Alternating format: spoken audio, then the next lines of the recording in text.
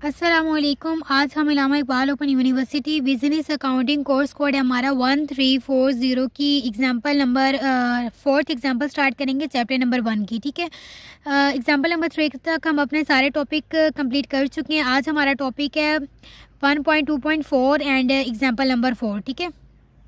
सबसे पहले देखते हैं कि इस टॉपिक में हमारे पास एक नई चीज़ आ रही है बैलेंस शीट ठीक है, जिसमें आज के टॉपिक में हमने बैलेंस शीट बनाना सीखना इनकम एंड एक्सपेंडिचर अकाउंट भी हम बनाना सीख चुके हैं, और रिसिप्ट एंड पेमेंट अकाउंट भी हम बनाना सीख चुके हैं। आज हमने एक बैलेंस शीट बनाना सीखनी है। तो और एक कैपिटल फंड फाइंड करना सीखना है, ठीक है? सबसे पहले पढ़ते हैं, हमारे पास बैलेंस शीट का इंट्रोडक्शन गिवन है। Balance sheet is a statement that shows the financial position of any organisation balance sheet एक स्टेटमेंट होती है जो किसी भी ऑर्गेनाइजेशन की फाइनेंशियल फाइनेंशियल पोजीशन यानी माली हालत का इजहार करती है, ठीक है? लाइक द कमर्शियल ऑर्गेनाइजेशन जिस तरह कमर्शियल ऑर्गेनाइजेशन होते हैं, यानी कि ऐसी ऑर्गेनाइजेशन जिनका मकसद मुनाफा कमाना होता है it is prepared by the non-trading uh, concern to assert uh, to um, ascertain the assets and liabilities of any entity.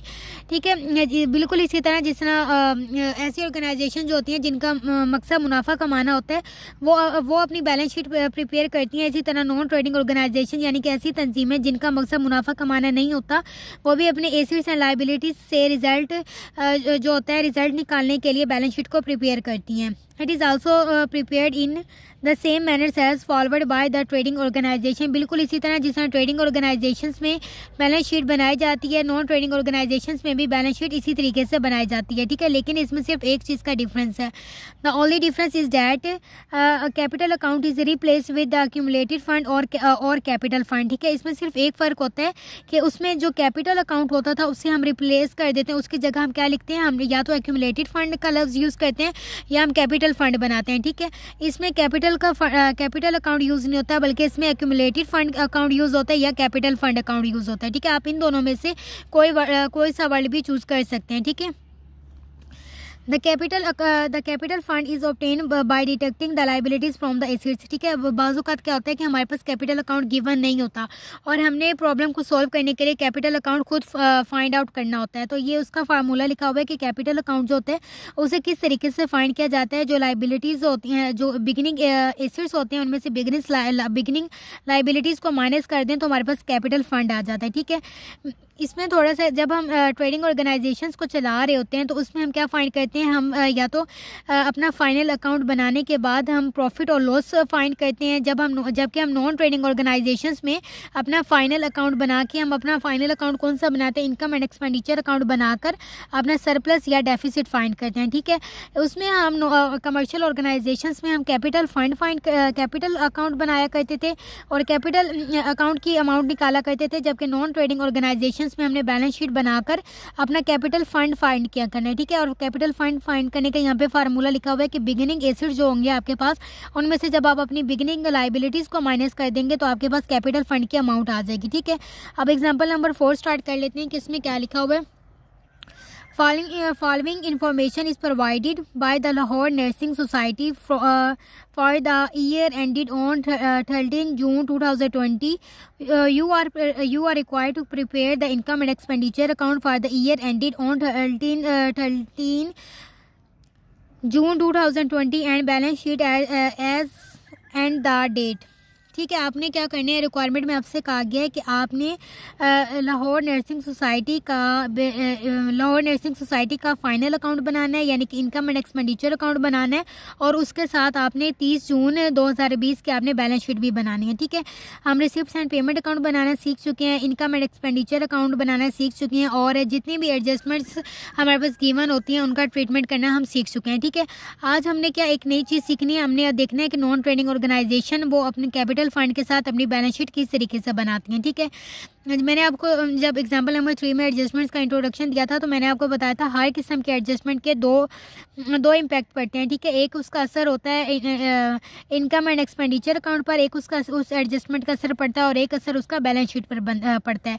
लेकिन जो एग्ज़ाम्पल नंबर थ्री थी, हमने उसमें सिर्फ़ एक असर सॉल्व किया था, उसका एक इम्पैक्ट शो किया था, जो इनकम एंड एक्सपेंडिचर अकाउंट पर पड़ता था, क्योंकि उस क्वेश्चन में हमें बैलेंस शीट बनाने के लिए नहीं कहा गया था, ठीक है? आज के क्वेश्चन में हमें जो बैलेंस शीट है, वो भी बनाने के लिए कहा गया है और हमारे हमारे पास एडजस्टमेंट्स भी गिवन है। इसलिए हम इनके दो दोनों असर जो दोनों चीज़ों पे पढ़ते हैं, यानी कि इनकम एंड एक्सपेंडिचर अकाउंट पर इसका क्या इम्पैक्ट पड़ेगा और बैलेंस शीट पर इसका क्या इम्पैक्ट पड़ेगा, आज हम इस पर डिटेल से बात करेंगे, ठीक है?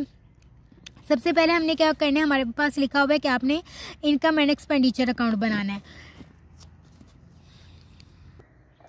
सबसे पहले देखें कि हम किसका बनाने लगे इनकम एंड एक्सपेंडिचर अकाउंट हम किसका बनाने लगे हैं? ठीक है हम बनाने लगे हैं nursing society Lahore nursing society का। तो जो स्टेटमेंट में आपके पास नेम गिवन होता है सोल्यूशन की आपने हेडिंग देनी है? और सबसे पहले वो नेम मेंशन करना होता है कि आप किसका ये फाइनल अकाउंट बनाने लगे हैं। तो हम बनाने लगे हैं लाहौर नर्सिंग सोसाइटी का, यहाँ पे उनका नेम मेंशन कर देना है।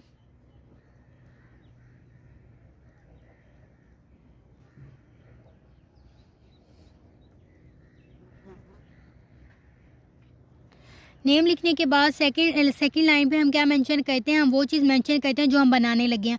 और हम इस time income and expenditure account बनाने लगे हैं तो हम इसका नेम मेंशन करेंगे।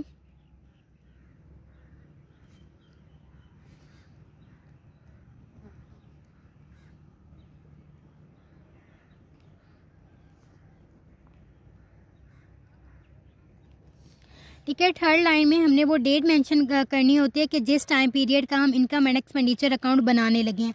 तो आप देखिए, हमारे पास क्या डेट मेंशन है? हमने इनकम एंड एक्सपेंडिचर अकाउंट बनाना है फॉर द ईयर एंडेड तीस जून 2020 का हमने इनकम एंड एक्सपेंडिचर अकाउंट बनाना है। वैसे भी जब भी कोई भी फाइनल अकाउंट बनाया जाता है, वो साल के आखिर में आखिर में बनाया जाता है। इसी वजह से हमने क्या बनाना है? हमने बनाना है फॉर द ईयर एंडेड हमने यहाँ पर डेट मैंशन करनी है।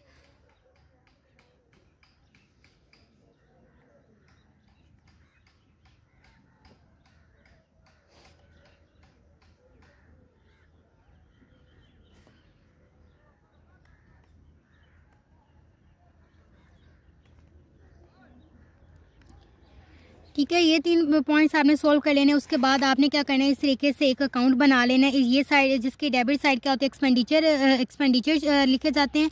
फिर अमाउंट का कॉलम आता है, फिर इनकम और फिर अमाउंट का कॉलम आता है, ठीक है? आप इनकी जगह चेंज नहीं कर सकते, ठीक है? जितने एग्जाम्पल्स और जितने हम लेक्चर्स कवर कर चुके हैं, आज का हमारा एट लेक्चर है, वो भी फ़र्स्ट यूनिट नंबर वन पे। तो इससे पहले अब आपको पता होगा कि एक्सपेंडिचर में हम क्या चीज़ मैंशन करते हैं और इनकम्स में हम क्या चीज़ मैंशन करते हैं, ठीक है?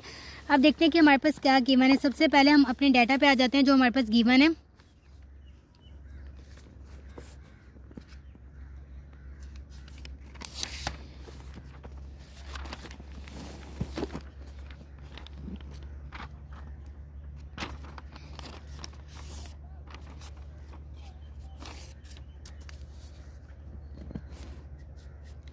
अब देखें सबसे ऊपर हमारे पास क्या लिखा हुआ है? हमारे पास लिखा हुआ है बैलेंस इन हैंड मैंने आपको बताया था बैलेंस जो लास्ट ईयर के रिसिप्ट एंड पेमेंट अकाउंट में हमारे पास बैलेंस बच जाता है, वही नेक्स्ट ईयर की जब रिसिप्ट एंड पेमेंट अकाउंट बनाया जाता है, वही बैलेंस जो लास्ट ईयर में बचा हुआ होता है, वो हमारे अगले साल का क्या बन जाता है? अगले साल का कैश इन हैंड बन जाता है, यानी कि बैलेंस सीडी जो होता है लास्ट ईयर का, वो अगले साल का बैलेंस बीडी बन जाता है, ठीक है? बैलेंस बीडी को आप बैलेंस ब्रोड डाउन भी कहते हैं, ठीक है? ये लाइक आपको ये बैलेंस नज़र आ रहा होगा, ठीक है? इसी तरह अब ये जो बैलेंस है ना, जो आपका हमारा बच गया छः हज़ार दो सौ पैंतीस रुपये ये जब हम नेक्स्ट ईयर की बैलेंस शीट बनाएँगे तो यही बैलेंस कैश इन हैंड के नाम से वहाँ पर मौजूद होगा। यानी कि किसी भी रिसिप्ट एंड पेमेंट अकाउंट में जो लास्ट लास्ट में हमारे पास बैलेंस बच जाता है, वही हमारे जब नेक्स्ट साल नेक्स्ट ईयर की वो रिसिप्ट एंड पेमेंट अकाउंट होते हैं, उसका बैलेंस इन हैंड यानी कि बैलेंस ब्रोड डाउन बनता है। ठीक है, ये वो बैलेंस होता है जो लास्ट ईयर में बचा हुआ होता है। तो सबसे पहले देखें बैलेंस इन हैंड है, हमारे पास बैलेंस इन हैंड जो भी होता है, वो हमारे क्या होता है बिगिनिंग एसिड होता है। तो बैलेंस इन हैंड को आपने क्या करना है, अपनी बिगिनिंग बिगिनिंग एसिड्स में कन्वर्ट कर देना है, ठीक है? तो आपने इन हम यहाँ पे क्या बना रहे हैं? हम बना रहे हैं इनकम एंड एक्सपेंडिचर अकाउंट। यहाँ पे हमने सिर्फ़ अपनी इनकम्स को मेंशन करना है और यहाँ पे हमने क्या, आपने सिर्फ़ एक्सपेंडिचर को मेंशन करना है। तो आपने एक दफ़ा इसको बैलेंस इन हैंड को छोड़ देना है, क्योंकि हम ये भी नहीं बना रहे हम सिर्फ़ इनकम एंड एक्सपेंडिचर अकाउंट बना रहे हैं। आपने यहाँ पे क्रॉस मार्क कर देना है। फिर देखें हमारे पास क्या लिखा है? सब्सक्रिप्शन। सब्सक्रिप्शन हमारी क्या है? पाँच हज़ार five thousand five hundred seventy five. तो सब्सक्रिप्शन हमारी क्या होती है? इनकम होती है। लेकिन मैंने आपको बताया था, अगर आपके पास कभी भी एडजस्टमेंट्स गिवन है तो आप आपने एक टिप यूज़ करनी है कि सबसे पहले देखना है कि ये मेरी एडजस्टमेंट्स मेरे इस डाटा से रिलेट कर रही हैं। अगर ये एडजस्टमेंट्स इस डाटा से रिलेट कर रही हैं तो आपने उसके ऊपर स्टार मेंशन करते जाना है, जिस, जिसका जिसके साथ के एडजस्टमेंट्स आपके पास गिवन है, ताकि हम उनकी वैल्यूज़ को बाहर बाहर लिखने की बजाय कॉलम के अंदर ही लिखें। ठीक है, सबसे पहले हम एडजस्टमेंट्स देखते हैं। The society owns free on land costing forty thousand on which it is pose to build the nursing hostel nurse nurse hostel, ठीक है? हमारे पास कोई लैंड के साथ का डाटा नहीं है तो उसको छोड़ दें। इसका एक और तरह का ट्रीटमेंट होने फिर देखिए, लिखा donation of rupees five hundred receive to building fund भी ठीक है हमारे पास डोनेशन रिसीव हुई है बिल्डिंग फंड के लिए पाँच सौ रुपये जो हमने गलती से क्या कर दिया सब्सक्रिप्शन अमाउंट के अंदर ऐड कर दिए तो जो ये एडजस्टमेंट है, इसका दो, जो डाटा में दो, वो हमारे पास गिवन है ट्रांजेक्शन उनके साथ लिंक बन रहा है। एक तो इसका बन रहा है बिल्डिंग फंड के साथ और एक इसका किसके साथ ताल्लुक बन रहा है सब्सक्रिप्शन अमाउंट के साथ। तो आपने अपने डाटा में जहाँ पे लिखा हुआ है सब्सक्रिप्शन इस पर भी एक स्टार लगा लेना है। और जहाँ पे लिखा हुआ है बिल्डिंग फंड आपने यहाँ पे भी एक स्टार लगा लेना तो बिल्डिंग फंड हमारा लिखा हुआ है डोनेशन फॉर बिल्डिंग फंड। आपने एक स्टार यहाँ पे लगा लेना ये दो स्टार आपने लगा लिए।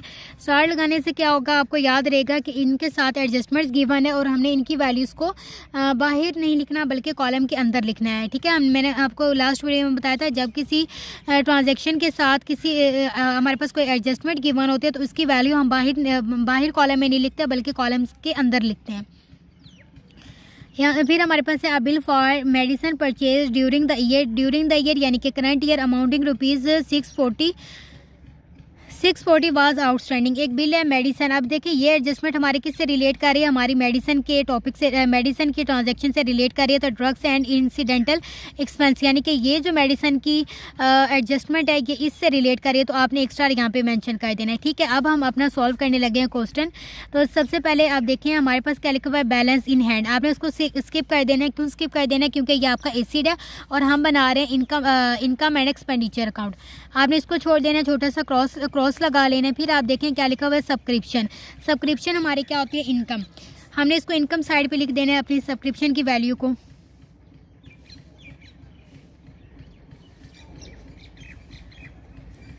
आप देखिए इसके साथ हमने क्या लगाया हुआ हमने एक स्टार लगाया हुआ स्टार लगाने से हमें क्या फ़ायदा हुआ है? हमें ये फ़ायदा हुआ है कि हमें पता चल रहा है कि इस वैल्यू ने बा, बाहर नहीं जाना। तो ये जो हमारे पास वैल्यू गिवन है five thousand five hundred seventy five में से कॉलम के बाहर यहाँ पे फाइव हंड्रेड सेवेंटी फाइव यहाँ पे नहीं लिखूँगी बल्कि मैं से अंदर कॉलम के अंदर लिख दूँगी। Five thousand five hundred seventy five ठीक है? फिर हम देखें fees from non non members ठीक है? हमारे पास कुछ फीसिस आई हैं नॉन मेंबर्स के थ्रू ठीक है? जब भी हमारे पास किसी भी ज़रिए से पैसा आता है तो वो हमारी क्या होती है? इनकम होती है। आपने थोड़ी सी लाइन uh, uh, एक दो लाइनें छोड़ देनी है। क्यों छोड़ देनी है? क्योंकि अभी हमने एक uh, इसका यहाँ पे एडजस्टमेंट सॉल्व करनी है। इस वजह से हमने थोड़ी सी तकरीबन दो एक लाइनें छोड़ देनी है। फिर में हमारे पास लिखा हुआ है fees from non members non members तो इसके तेरह तेरह सौ पचास। इसके साथ कोई एडजस्टमेंट नहीं है, इसकी वैल्यू को हम बाई लिखेंगे और हमारे पास पैसा आ रहा है फीसिस के थ्रू तो ये हमारी क्या इनकम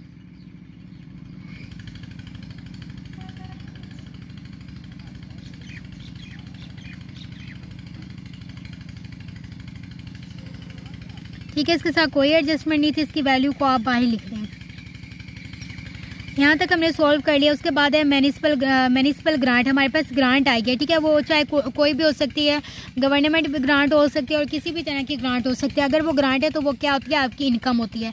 तो आपने ग्रांट आ रही है आपके पास यानी कि पैसे आ रहे हैं तो वो क्या होगी? आपकी इनकम होगी। इसके साथ कोई एडजस्टमेंट नहीं है तो हमने इसकी वैल्यू को भी बाहर लिख देना है। सिर्फ़ उनकी वैल्यूज़ को अंदर लिखा जाएगा, जिनके साथ कोई ना कोई एडजस्टमेंट गिवन होगी। जैसे सब्सक्रिप्शन के साथ एडजस्टमेंट गिवन थी तो इसकी वैल्यू को हमने अंदर लिखा, बाकी बाकी जिनके साथ नहीं होगी, उनकी सारी वैल्यूज़ को हमने बाहर लिखते जाना है। तो ये वैल्यू है हमारे पास फाइव थाउज़ेंड रुपीज़ फिर हमारे पास है डोनेशन फॉर बिल्डिंग फंड हमारे पास डोनेशन आई है बिल्डिंग फंड के लिए हमारे पास डोनेशन आई है ठीक है? अगर मैंने आपको जो लास्ट में इंट्रोडक्शन चैप्टर का हम इंट्रोडक्शन पढ़ रहे थे तो हमारे पास डोनेशन का भी एक स्पेशल टॉपिक था, ठीक है? अब डोनेशन देखने से तो इनकम लग रही है, ठीक है? बहुत बच्चे इस तरह करेंगे कि डोनेशन को इनकम समझ के इस कॉलम में पुट कर देंगे। लेकिन ये क्या, ये सिंपल डोनेशन नहीं है, ये क्या डोनेशन फॉर बिल्डिंग फंड ये बिल्डिंग फंड के लिए डोनेशन है।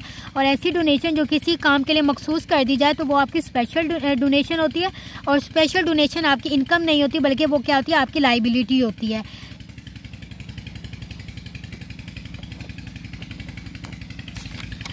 ये देखिए, हमने ये डोनेशन का यहाँ पे जो टॉपिक पढ़ा था किसी लेक्चर में I think lecture number one था या टू था, ये हमने उसमें ये टॉपिक पढ़ा था। It is amount which is collected by the non trading concern from members and general public के डोनेशन क्या होती है? एक ऐसी रकम होती है जो जनरल पब्लिक से या मेंबर से वसूल कर नॉन ट्रेडिंग ऑर्गेनाइजेशन यानी कि ऐसी तंजीमें जिनका मकसद मुनाफा कमाना नहीं होता। वो जनरल पब्लिक से और मेंबर से ये रकम वसूल करते हैं। द अमाउंट में भी और टू टाइप्स लेकिन इसके, इस डोनेशन की दो टाइप्स हैं। एक जनरल डोनेशन होती है और एक क्या होती है? स्पेशल डोनेशन होती है। जनरल डोनेशन क्या होती है? जो हमें फ्री में दे दी जाती है, हमारी मर्ज़ी होती है, हम उससे जिस मर्ज़ी मकसद के लिए इस्तेमाल करें। लेकिन जो स्पेशल डोनेशन होती है, वो क्या होती है? वो एक स्पेसिफिक पर्पज़ के लिए होती है। यानी कि फ़िक्स कर दिया जाता है कि इस, ये डोनेशन आपने इस काम के लिए इस्तेमाल में लाने जैसे कंस्ट्रक्शन के लिए परचेज ऑफ़ एसिड्स वगैरह के लिए, किसी भी काम के लिए अगर हमें डोनेशन फ़िक्स करके दी जाए तो वो हमारी क्या होती है? वो हमारी स्पेशल स्पेशल डोनेशन बन जाती है। और हम उसे क्या करते हैं? Then it will be capitalize हम सिर्फ़, हम इस तरह की डोनेशन को कैपिटलाइज करते हैं। और क्या कहते हैं, इसको अपनी लाइबिलिटी साइड में, यानी कि बैलेंस शीट में लाइबिलिटी में हम इसे रिकॉर्ड करते हैं। ये हमारी इनकम नहीं होती, जबकि जो जनरल डोनेशन होते हैं, यानी कि सिर्फ़ जो हमारे पास पैसा वसूल होता है डोनेशन के नाम से, यानी कि हमारी हमारी ज़िम्मेदारी होती है, हम उसे जहाँ पे चाहें सर्व कर सकते हैं। तो उस तरह की डोनेशन को हम कहते हैं जर्नल डोनेशन और वो हम क्या कहते हैं, वो हम अपनी क्रेडिट साइड पर, यानी कि इनकम के कॉलम में रिकॉर्ड करते हैं। तो जो ये डोनेशन हमारे पास गिवन है ये हमारे पास किस टाइप की डोनेशन गिवन है?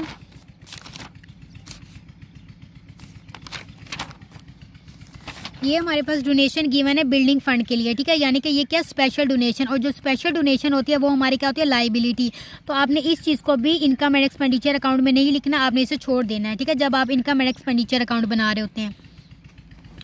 फिर लिखा हुआ है हमारे पास इंटरेस्ट इंटरेस्ट जो, मैंने आपको बताया था, जहाँ पे लिखा होगा सिंपल इंटरेस्ट तो वो क्या होती है? हमारी इनकम होती है, और जब लिखा होता है बैंक इंटरेस्ट तो वो क्या होता है? हमारा एक्सपेंस होता है। तो एग्ज़ाम्पल नंबर थ्री में हमारे पास क्या लिखा हुआ था? बैंक इंटरेस्ट बैंक इंटरेस्ट लिखा होता है तो वो हमारा एक्सपेंस होता है। और जहाँ पे लिखा होता है इंटरेस्ट यानी कि सिंपल इंटरेस्ट लिखा हो या इंटरेस्ट लिखा तो वो हमारी क्या होती है? इनकम तो इंटरेस्ट को भी हमने अपनी इनकम साइड पे मेंशन कर देना और देखना इंटरेस्ट के साथ हमारे पास कोई एडजस्टमेंट दी हुई है इंटरेस्ट के साथ हमारे, हमें कोई एडजस्टमेंट नहीं दी हुई तो इसकी वैल्यू को भी हमने बाहर लिख देना है।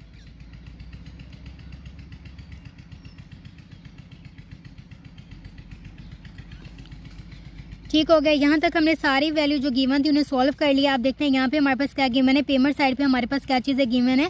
सैलरीज ऑफ़ नर्सेज नर्सेज को हमने सैलरीज अदा की हैं। सैलरीज हम किसी भी चीज़ को आ, किसी भी शख्स को अदा करते हैं। अगर हम सैलरी दे रहे हैं तो हमारा पैसा जा रहा है। तो जब हमारे पास पैसा जाता है तो वो हमारा क्या होता है? एक्सपेंस होता है। तो हमने यहाँ पे एक्सपेंडिचर अकाउंट में सैलरीज की हेडिंग देनी है। हाँ पूरा चाहें तो पूरा भी लिख सकते हैं, वरना सैलरीज लिखते हैं ये भी काफ़ी है। ठीक है, इसके साथ कोई एडजस्टमेंट गिवा नहीं इसलिए इसकी वैल्यू को डायरेक्ट बाहर लिख देंगे। उसके बाद हमारे पास नेक्स्ट लिखा हुआ है board laundry and domestic help के लिए हमने क्या हेल्प के लिए पैसे दिए हैं। पेमेंट साइड पे आ रहा है तो इसका क्या मतलब है? पैसे हमने दिए हैं। तो जब हम पैसे देते हैं तो ये हमारा एक्सपेंस होता है। तो इसके साथ कोई एडजस्टमेंट गिवन नहीं है तो हम इसकी वैल्यू को भी डायरेक्ट बाहर लिख देंगे।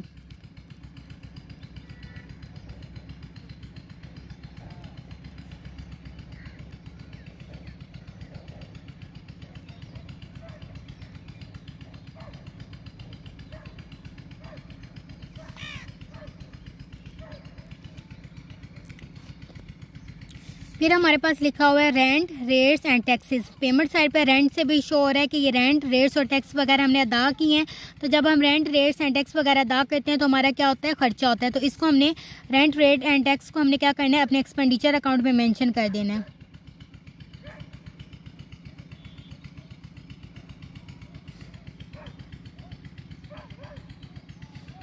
इसकी अमाउंट क्या? थाउज़ेंड रुपीज़ आपने यहाँ पे मेंशन कर देना है। फिर देखिए हमारे पास लिखा हुआ है कॉस्ट ऑफ़ कार यानी कि हमने कार खरीदी है। तो ख़रीदने पर हमारा खर्चा होता है लेकिन अगर हम कोई एसेट खरीद रहे हैं तो वो हमारा बैलेंस शीट में जाता है, ठीक है? ये हमने कार खरीदने पर हमारा खर्चा तो हुआ है दस हज़ार का, लेकिन ये हमारा एक्सपेंस नहीं है, ये हमारा एसिड है। तो कॉस्ट ऑफ़ कार ये हमारी क्या होगी? बैलेंस शीट का एसिड है। तो आपने इनकम एंड एक्सपेंडिचर अकाउंट में कॉस्ट ऑफ़ कार भी नहीं लिखना, क्योंकि ये हमारा एक्सपेंस नहीं है, बल्कि ये हमारा एसिड है। पेमेंट साइड पर हमारे पास दो चीज़ें मिक्स करके गिवन होती हैं, या एक्सपेंसिस भी गिवन होते हैं और एसिड्स भी गिवन होती हैं। और receipt and payment receipt side पर आपके पास इनकम्स भी गिवन होती हैं, और इसके अलावा लाइबिलिटीज़ भी गिवन होती है। ये दोनों चीज़ें मिक्स करके गिवन होती हैं। आपने फिर चूज़ करना होता है कि मेरी इनकम कौन सी है और लाइबिलिटी कौन सी है। जो लाइबिलिटीज़ होती हैं, आपने बैलेंस शीट में लाइबिलिटीज़ के कॉलम में लिख देना होता है और जो इनकम होती हैं, वो आपने इनकम के कॉलम में लिख देना है। ठीक है, अभी हम क्या बना रहे हैं? इनकम एंड एक्सपेंडिचर अकाउंट बना रहे हैं। एक्सपेंडिचर अकाउंट में सिर्फ़ एक्सपेंसिस लिखने हैं एसिड्स नहीं लिखने तो ये कॉस्ट ऑफ़ कार क्या हमारा एसिड है इसलिए हम इसे नहीं लिखेंगे। इसको आपने स्किप कर देना है। फिर हमारे पास कार एक्सपेंसिस है। ठीक है कार पर हमारे खर्चे हुए एक्सपेंसिस मैंशन भी उन्होंने कर दिया। कार के ऊपर खर्चा हुआ है हमारा चार हज़ार दो सौ रुपये का। तो आपने क्या करना है? एक्सपेंडिचर अकाउंट में इसे मेंशन कर देना है। इसके साथ कोई एडजस्टमेंट कीमा नहीं इसकी वैल्यू डायरेक्ट बाई लिख देंगे।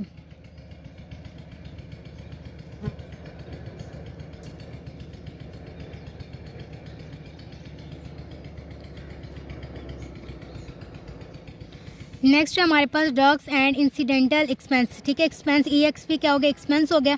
यानी कि ड्रग्स वगैरह पर और दवाइयों वगैरह पर हमारा खर्चा है तीन हज़ार तीन सौ पचास रुपये तो आपने क्या करना है? यहाँ पे मेंशन कर देना और इसके साथ हमने स्टार लगाए हुए शो कर रहे हैं कि इसके साथ एडजस्टमेंट गीवन है तो इसकी वैल्यू को हमने बाहर लिखने की बजाय क्या करना है? अंदर लिखना है।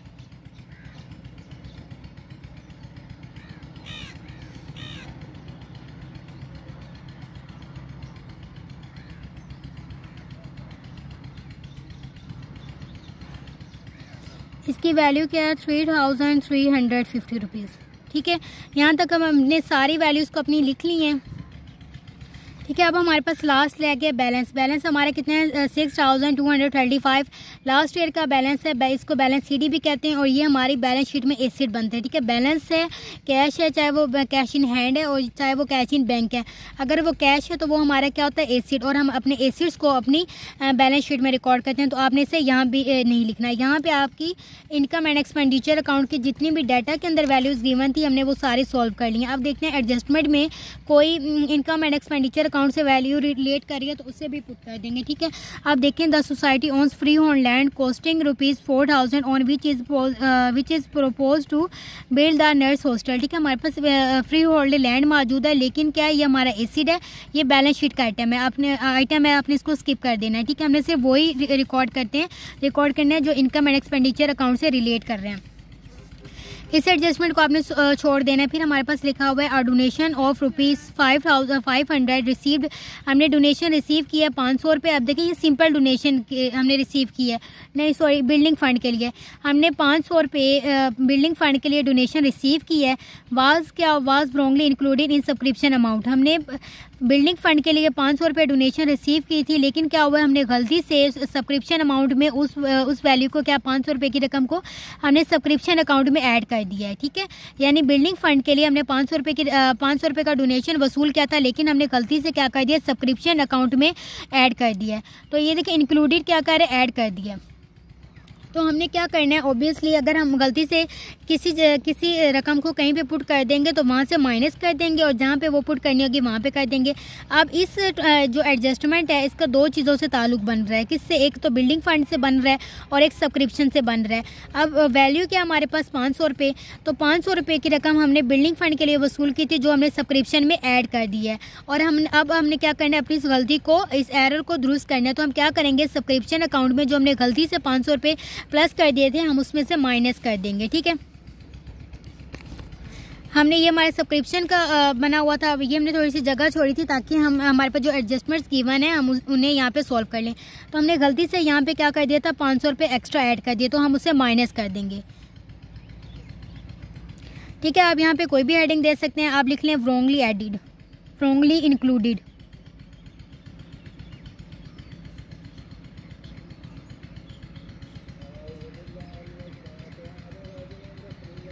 wrongly included amount कितनी अमाउंट थी वो? पाँच सौ रुपये तो हम इस वैल्यू को यहाँ से माइनस कर देंगे। अब जो इसका फाइनल आंसर आएगा, वो हम क्या कर देंगे? कॉलम के बाहर लिख देंगे। एक हमने सॉल्व कर लिया। फिर हमने यहाँ से जब माइनस कर लिया सब्सक्रिप्शन अकाउंट से तो हम क्या करेंगे? हमने ये ऐड कहाँ करने थे? हमने ये ऐड करने थे अपने बिल्डिंग फंड में तो बिल्डिंग फंड हमारा क्या है? हमारा एसिड था, ठीक है? जब हमारे पास एक डोनेशन स्पेशल डोनेशन क्या होती है? मैंने कहा था वो हमारा क्या जाएगा? बैलेंस शीट में। तो इसका बिल्डिंग फंड का अकाउंट हमारा इनकम एंड एक्सपेंडिचर अकाउंट में कहीं पे भी नहीं है। तो हम एक दफ़ा इसका, एक जो है ना इम्पैक्ट इफ़ेक्ट वो इसको छोड़ देंगे, ठीक है? वो बैलेंस शीट में जाकर सॉल्व होगा। अभी हम सिर्फ़ बना रहे हैं expenditure income and expenditure account अब लास्ट हमारे पास क्या गिवन है? Bill for medicine purchase during the year amounting rupees six forty was outstanding ठीक है, आप देखिए हमारे पास क्या लिखा, आप बिल, यानी कि ये एक हमारा एक्सपेंस है और ड्यूरिंग द ईयर यानी कि ये करंट ईयर का और ये क्या आउटस्टैंडिंग करंट ईयर का आउटस्टैंडिंग मैंने ये आपको एक टेबल लिखवाया हुआ है, ठीक है? आप देखिए करंट ईयर का आउटस्टैंडिंग का ट्रीटमेंट क्या होगा? यानी कि इस वैल्यू को हमने क्या क्या कर देना ऐड करंट ईयर का आउटस्टैंडिंग ऐड होता है, यानी कि इस वैल्यू को हमने इससे रिलेट अकाउंट में ऐड कर देना है। तो इससे रिलेटेड अकाउंट कौन सा हमारे पास? हमारे पास इससे रिलेटेड अकाउंट है ड्रग्स एंड इंसिडेंटल एक्सपेंसिस तो हमने उस वैल्यू को आउटस्टैंडिंग को यानी कि ऐड ऐड कर देना है हमने outstanding outstanding expense outstanding expense भी आउट लिख सकते हैं आप, या आउटस्टैंडिंग बिल की हेडिंग भी आप दे सकते हैं, जो आपको अच्छी लगे, आप वो हेडिंग दे सकते हैं। सिर्फ़ आप फ़र्क पड़ता है ऐड और लेस करने से, आउटस्टैंडिंग और प्रीपेड लिखने से। आगे ये आपकी निरेशन आप कोई भी लिखते हैं, या आपका अपना कंसर्न है, ठीक है? या अपना, आपकी अपनी चॉइस होती है, आप क्या लिखें। तो वैल्यू क्या थी? छः सौ चालीस तो हम यहाँ पे कर देंगे छः सौ चालीस को ऐड तो यहाँ पे हमने क्या कर लिया, अपने इनकम एंड एक्सपेंड और इसके अलावा कोई एडजस्टमेंट बाकी नहीं है। हमने अपना income and expenditure account complete कर लिया है। अब हम क्या करेंगे? हम इन वैल्यूज़ का टोटल ले लेंगे। आपने क्या करना है? अपने लास्ट पे टो, टोटल का कॉलम क्रिएट करना है। यहाँ पे आपने लिख देना है टोटल यहाँ पे भी आपने क्या लिख देना है? टोटल टोटल के अंदर आपको पता है दोनों मुख्तलि वैल्यूज़ होती हैं। मुख्तलि वैल्यूज़ होने के बावजूद दोनों साइडों का टोटल हम एक ही लिखते हैं।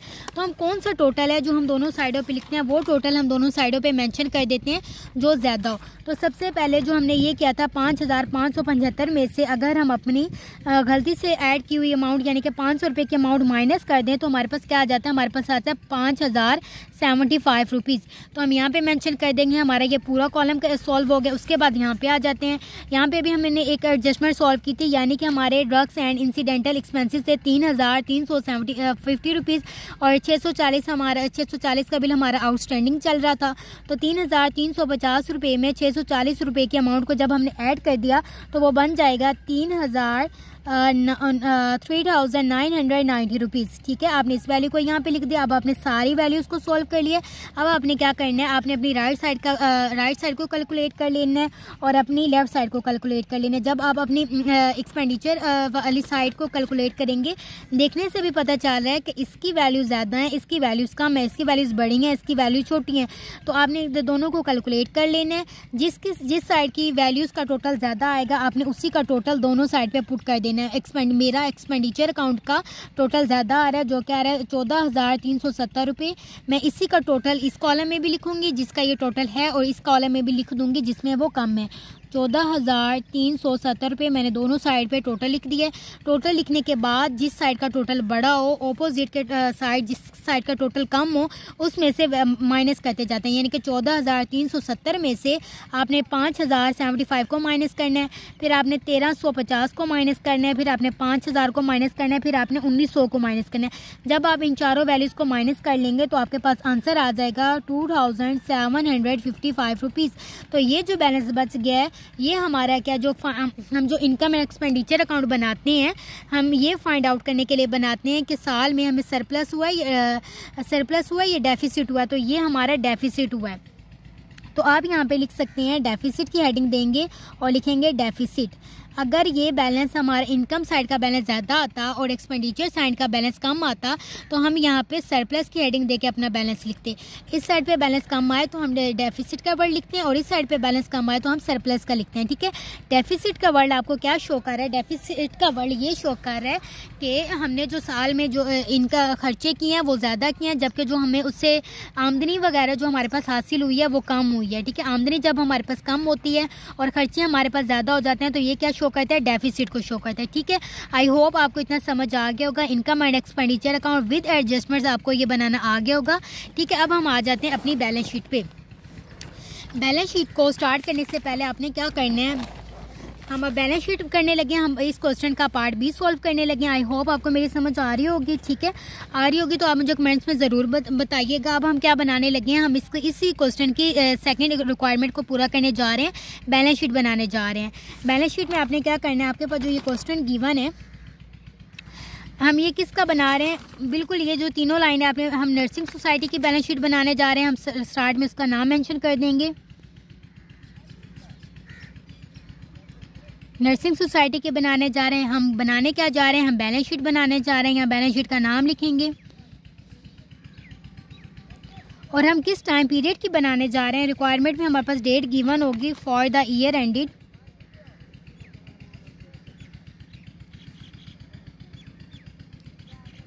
ठीक है, यहाँ पे जो भी आपके पास वैल्यू हो ना डेट लिखे हो, आपने वो लिख देनी है, ठीक है? मेरी बुक साइड पे पड़ी है, वो पेज पड़ गया तो मेरे पास पेज एक्स्ट्रा पड़ा हुआ है, ठीक है? मैं इस पेज से देख के आपको समझा रही हूँ, जबकि बुक मेरी उधर पड़ी है तो जो आपके पास डेट होगी ना, आपने यहाँ पे मैंशन कर देनी है, ठीक है?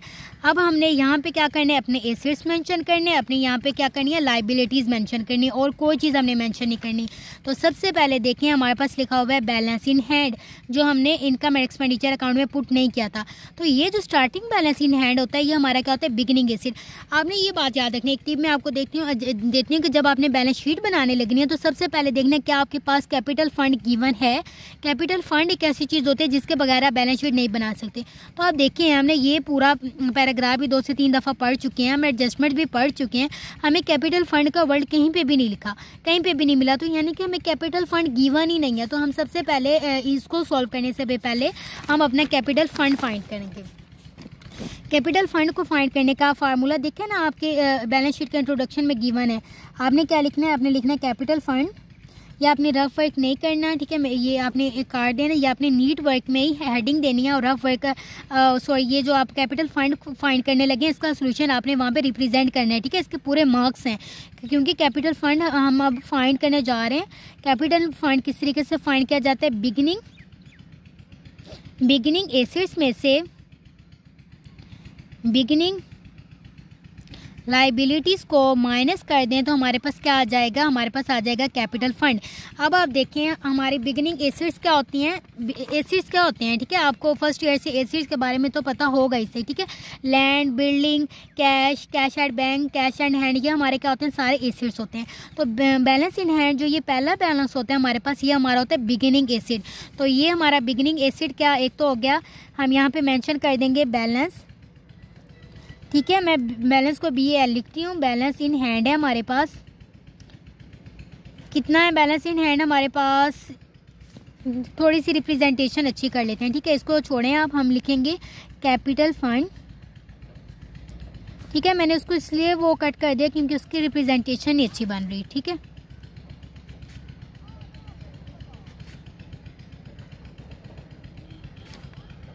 माइनस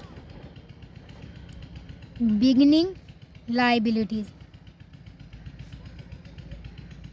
लाइबिलिटीज़ यानी कि जो बिगनिंग एसिड्स हैं, उनमें से जो बिगनिंग लाइबिलिटीज़ यानी कि जो शुरू की ज़िम्मेदारी उनको माइनस कर दें तो हमारे पास क्या आ जाएगा? कैपिटल फंड की अमाउंट आ जाएगी।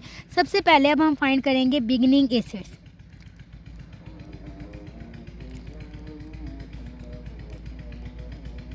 बिगनिंग एसिड्स हम क्या करने लगे हैं? फाइंड करने लगे हैं। एक हमारे पास बिगिनिंग एसिड क्या है? फ़र्स्ट तो बैलेंस इन हैंड हम यहाँ पे लिखेंगे balance in hand balance in hand लिखने के बाद इसकी अमाउंट हमारे पास क्या गिवन है? टेन थाउज़ेंड ज़ीरो फिफ्टी ठीक है? दस हज़ार पचास। ठीक है? हमने ये अमाउंट यहाँ पे लिख दी रुपीज़ के साथ। उसके बाद ये हो गया, उसके बाद सब्सक्रिप्शन ये हमारी क्या थी? इनकम थी, ये वैल्यू भी हम पुट ये भी सॉल्व कर चुके हैं, ये भी सॉल्व कर ली, ये भी सॉल्व कर ली। उसके बाद डोनेशन फॉर बिल्डिंग फंड ये हमारी क्या थी? लाइबिलिटी थी। तो अब आ जाते हैं अपनी, ये हमारी, ये जो लाइबिलिटी है ना डोनेशन फॉर बिल्डिंग फंड ये हमारे साल के दौरान की लाइबिलिटी है, ठीक है? आप ये लाइबिलिटी बिगनिंग लाइबिलिटी ना समझ लीजिएगा। ये मिड में, ये जो स्टार्ट की होती है ना, ये हमारे क्या होती है? बिगिनिंग बिगिनिंग इसलिए जो मिड में आ रही है ना डोनेशन फॉर बिल्डिंग फंड ये हमारे साल के दौरान की लाइबिलिटी है। तो इस लाइबिलिटी ने डोनेशन फॉर बिल्डिंग फंड ने क्या जाना है? डोनेशन फॉर बिल्डिंग फंड में लाइबिलिटी के कॉलम में जाना है। तो हमने डोनेशन फॉर बिल्डिंग फंड की वैल्यू को कहाँ पे मेंशन कर देना है? यहाँ पे मेंशन कर देना है।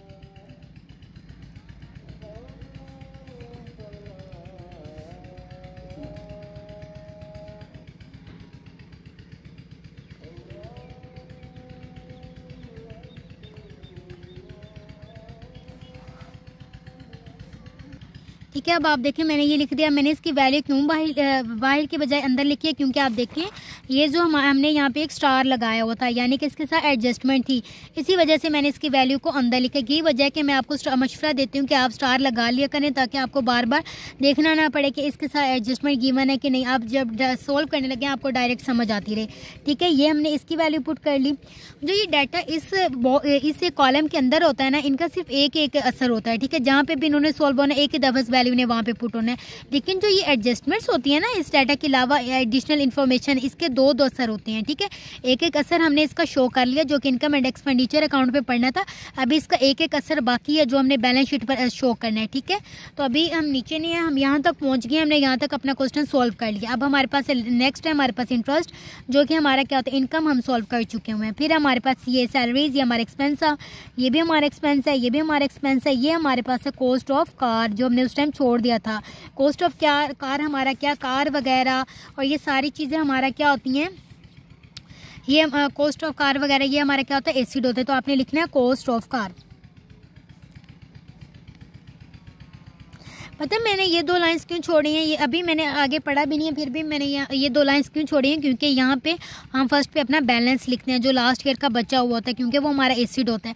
तो आप इनकी अंदर लिखने वाली वैल्यूज़ है ना तो इनको आप ऊपर नीचे जहाँ मर्ज़ी लिख सकते हैं। आप चाहें तो यहाँ लिख सकते थे कोस्ट ऑफ़ कार चाहें तो यहाँ लिख सकते थे कोस्ट ऑफ़ कार ये आपकी अपनी मर्ज़ी होती है। बस ये जो कॉलम है ना, आप इनकी साइड चेंज नहीं कर सकते। तो मैंने यहाँ पर लिखा है कोस्ट ऑफ़ कार थोड़ा सी ऊपर से दो लाइन छोड़। इसके साथ मेरी कोई एडजस्टमेंट नहीं थी तो मैंने इसकी वैल्यू को डायरेक्ट डायरेक्ट बाई लिख दिया। दस हज़ार, ठीक है?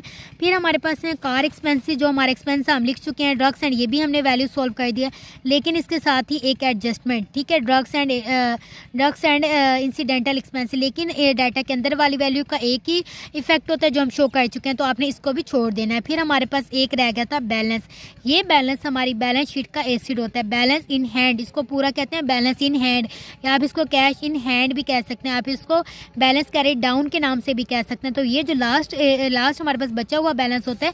ये हमारा बैलेंस शीट का क्या होता है? एसिड होता है।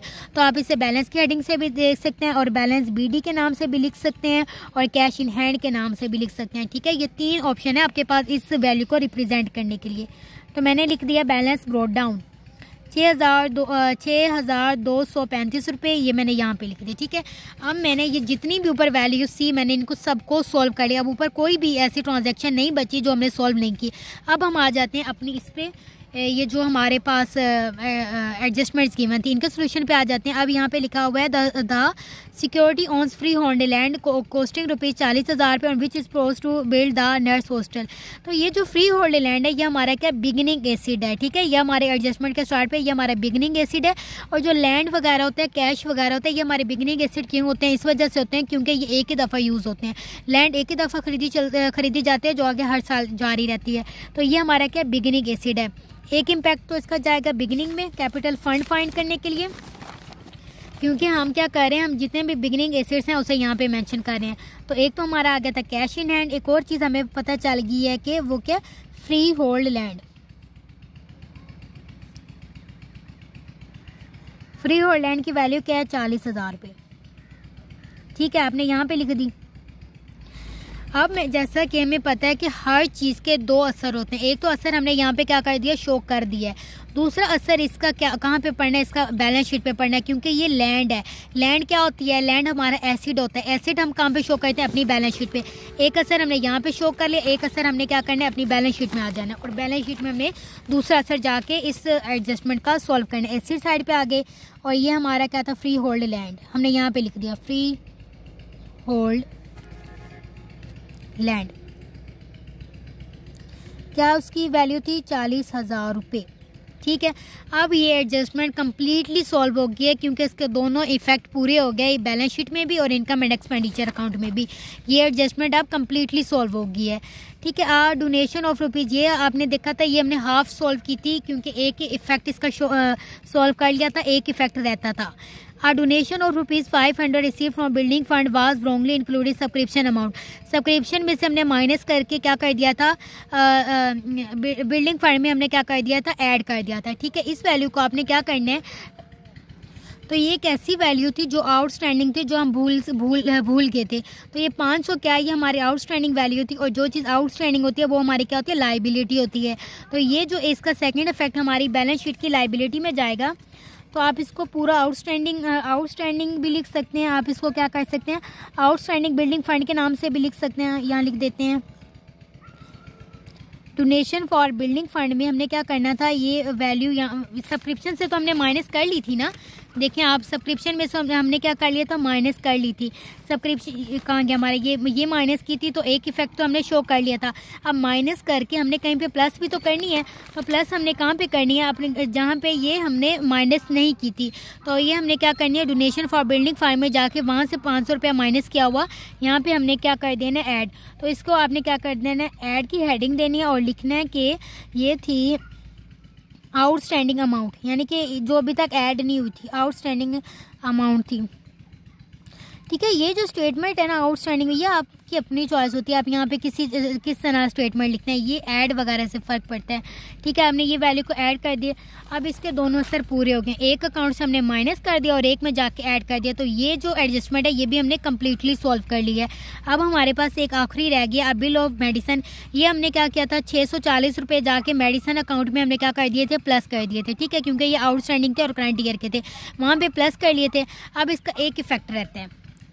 ठीक है, अब देखें, एक ही फैक्ट रहता है, ये आउटस्टैंडिंग था। आउटस्टैंडिंग जो चीज़ होती है, वो हमारे क्या होती है? लाइबिलिटी आउटस्टैंडिंग क्या होती है? बैलेंस शीट में आउटस्टैंडिंग का असर क्या होता है? कि आउटस्टैंडिंग एक्रियूड ड्यू ये जो चीज़ें होती हैं आउटस्टैंडिंग नेचर की ये हमारी होती है लाइबिलिटी और जो प्रीपेड एडवांस ये हमारा क्या होता है एसिड होता है। तो आउटस्टैंडिंग नेचर है इसका सेकंड इफ़ेक्ट हमने बैलेंस शीट में शो करना है और ये क्या आउटस्टैंडिंग आउटस्टैंडिंग है तो ये क्या होगा ये हमारी लाइबिलिटी होगी। यानी कि हमने आज नहीं तो कल नहीं तो परसों हमने अदा करनी है। तो हमने यहाँ पर लिख देना आउटस्टैंडिंग बिल आप इसे आ, किसी भी नाम से लिख सकते हैं तो मैं यहाँ पर लिख रही हूँ outstanding outstanding medicine bill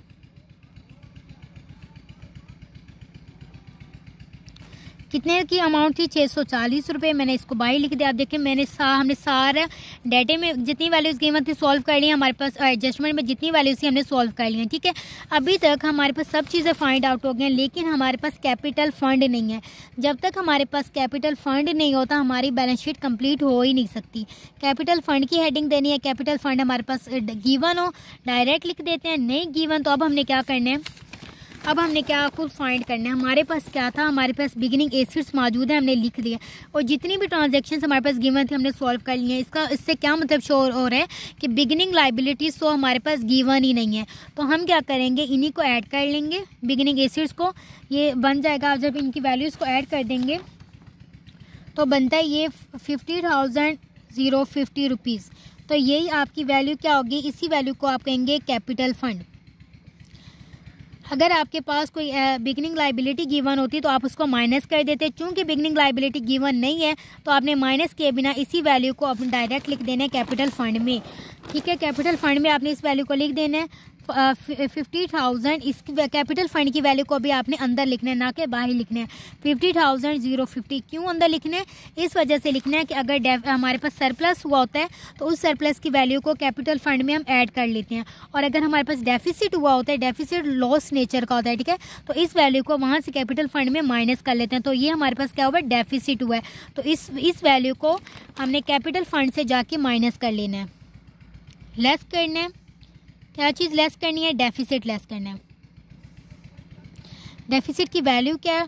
Two thousand seven hundred fifty five ठीक है, आपने ये इस वैल्यू को इसमें से पाँच पचास हज़ार, पचास में से माइनस करने ना दो हज़ार सात सौ पचपन रुपये तो आपके पास आंसर आ जाएगा फोर्टी सेवन जो आंसर आएगा वो फाइनल आंसर होगा और आपने उससे क्या करना है? बाय लिखना है। Forty seven thousand two hundred ninety five. आपने यहाँ पे लिख लेना और ये आपने सारा डाटा सॉल्व कर लेना। अब आ जाना है अपने टोटल पे। सारी वैल्यूज़ कम्प्लीटली सॉल्व हो गए इस साइड का आपने टोटल ले लेना है और अपने इस साइड का टोटल ले लेना है। अब आप देखिए किस साइड का टोटल बड़ा है। जब आप देखेंगे ना, जब आप बैलेंस शीट में बनाएँगे, हमेशा जो बैलेंस शीट होती है, ये आपका हमेशा एक दोनों साइड का टोटल इक्वल आता है। जबकि income and expenditure account profit and loss account इनका टोटल इक्वल नहीं आता, बल्कि एक साइड का टोटल हमेशा कम होता है और उसमें ठीक है, कम होता है। लेकिन बैलेंस शीट एक ऐसी होती है जिसका जो टोटल होता है ऑटोमेटिकली क्या होता है इक्वल हो जाता है। आप जब अपने इस साइड का टोटल करेंगे और जब इस साइड का टोटल करेंगे, अगर इक्वल शो हुआ तो मतलब आपने अपना पूरा क्वेश्चन बिल्कुल सॉल्व सही सॉल्व किया। और अगर ये दोनों साइड का टोटल इक्वल शो नहीं हो रहा तो आपने क्या किया? आपने कोई ना कोई मिस्टेक कर दी है। तो आप जब इन वैल्यूज़ को टोटल करेंगे तो आपके पास आंसर आएगा fifty six thousand two three five और जब आप अपनी इस राइट क्रेडिट साइड का टोटल करेंगे तो आपके पास आएगा fifty six thousand two three two three five तो यहाँ पे आपका ये क्वेश्चन कंप्लीट हो जाता है, ठीक है? आज हमने क्या किया? अपनी एग्ज़ाम्पल नंबर फोर भी कंप्लीट किया और इंट्रोडक्शन टू बैलेंस शीट भी हमने किया और कैपिटल फंड फाइंड करना भी आज की लेक्चर में हमने सीखा है। तो ये हमारे यूनिट नंबर वन का एट लेक्चर है। इससे प्रीवियस मैंने, इससे पहले मैंने सात लेक्चर डिलीवर कर चुकी हूँ, जिसमें मैंने आपको एक एक इस वर्ल्ड टू वर्ल्ड इस चैप्टर से रिलेटेड जो भी बेसिक्स कॉन्सेप्ट थे, मैंने आपको क्लियर करवा दिए ठीक है? अब हमारा एक आखिरी टॉपिक रह गया इस वीडियो से रिलेटेड जो कि एग्ज़ाम्पल नंबर फाइव उसके बाद हमारे ये यूनिट कंप्लीट हो जाएगा। और अगर आपने मेरा व्हाट्सएप ग्रुप ज्वाइन करना चाहें तो आप क्या कर सकते हैं नंबर मेंशन हो रहा होगा। अगर नहीं मेंशन हो रहा होता, मैं यहाँ पे लिख लेती हूँ, वैसे टाइटल के साथ मैं अपना नंबर मेंशन कर देती हूँ, ठीक है? Zero three one eight seven eight nine five nine seven nine ठीक है? आप इस नंबर पे ना मुझसे कांटेक्ट कर सकते हैं। ठीक है, जो सिर्फ़ वही बच्चे कांटेक्ट कर सकते हैं जो इलामा इकबाल ओपन यूनिवर्सिटी से बिलोंग करते हैं, इसके अलावा कोई बच्चे नहीं। और वो बच्चे जो इंटरमीडिएट लेवल से इंटरमीडिएट लेवल के हैं लाइक वो F A part one and two के हैं, या फिर वो ICom part one and two के हैं। ठीक है, मैं ज़्यादातर ICom part one and two के जो बच्चे होते हैं, इनको ज़्यादा प्रमोट करती हूँ। ठीक है, ये वाले जो बच्चे होते हैं लाइक जिनके अकाउंटिंग का सब्जेक्ट है बिज़नेस मैथमेटिक्स का सब्जेक्ट है, और स्टैटिस्टिक्स का सब्जेक्ट है। ठीक है, इनके बच्चे ज़्यादा कॉन्टैक्ट करें तो ज़्यादा अच्छा लगता है मुझे। तो आपने, आपको वीडियो अच्छी लगी हो, आपने लाइक करना है सब चैनल को सब्सक्राइब करना है और कमेंट्स में मुझे मेंशन कर देना है, ठीक है? यहाँ पे हमारी प्रॉब्लम कंप्लीट हो गया। अब हमने इंशाल्लाह कल के लेक्चर में अपनी लास्ट एग्जांपल कवर करनी एग्जांपल नंबर फाइव अल्लाह हाफिज़, फिर इंशाल्लाह नेक्स्ट वीडियो में मिलेंगे।